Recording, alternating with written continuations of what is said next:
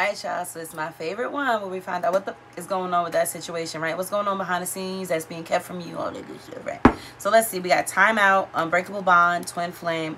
Twin flame energy been heavy on what's going on with that situation. It's been heavy. Like I feel like stable and grounded. Hold on. Inner workings and playing dirty. Hmm.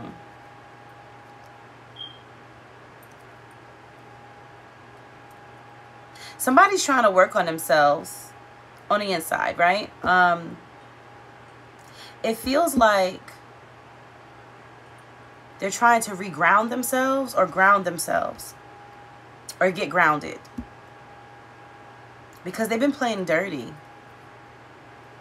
Dream love is back there too. So I feel like they're taking or they've taken they've taken time away from you already.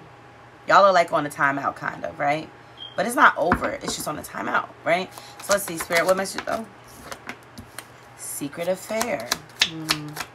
Told you, somebody been playing dirty. somebody been playing dirty. The masculine. I can't make it up. the masculine has been playing dirty. Secret affair. Um, let's keep going. What's going on with that situation? Chasing. Ooh. Burning evidence. Wow and work in progress. Ain't y'all, don't that be it all? Secret admirer, suffocating, ignoring the signs, seeking options, dark night of soul, and the karmic. Child, do y'all see these energies? Look at this. Twin flame, the karmic, secret affair. Who is somebody was sent to your life to destroy you, this karmic. Or somebody was sent to your person's life to destroy them. Take it as it resonates. They're going through a dark night of the soul because of this karmic. But that's the point of the karmic. To kind of destroy you, right? Teach you lessons. Now I'm going to say destroy. Teach you lessons. To help you know your worth, your value.